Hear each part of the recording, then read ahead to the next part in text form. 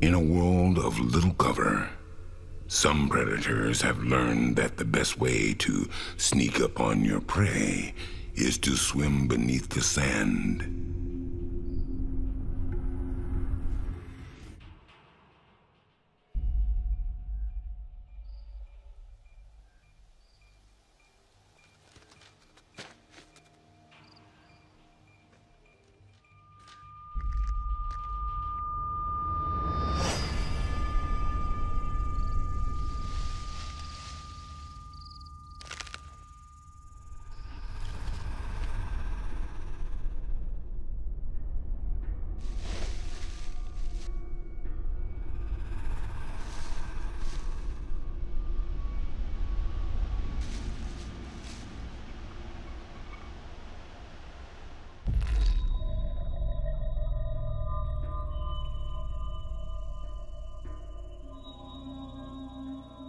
But luckily for the gecko, this predator is not after reptiles.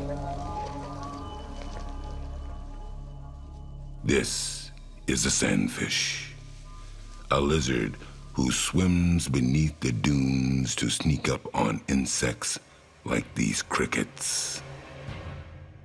The gecko has found some competition.